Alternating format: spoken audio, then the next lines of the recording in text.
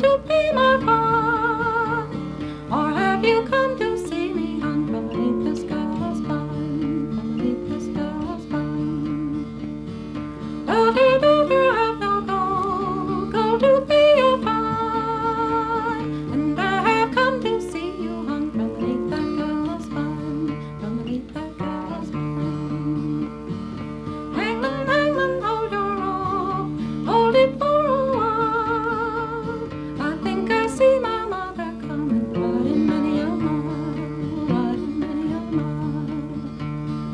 Mother, have you got the dough? Go to bed.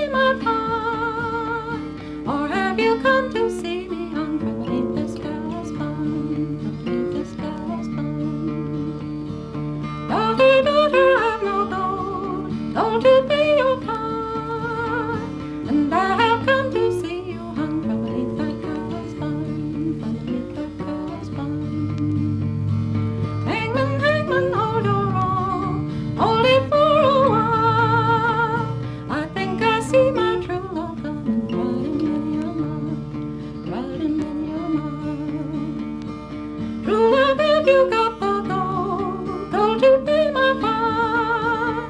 Or have you come to see me.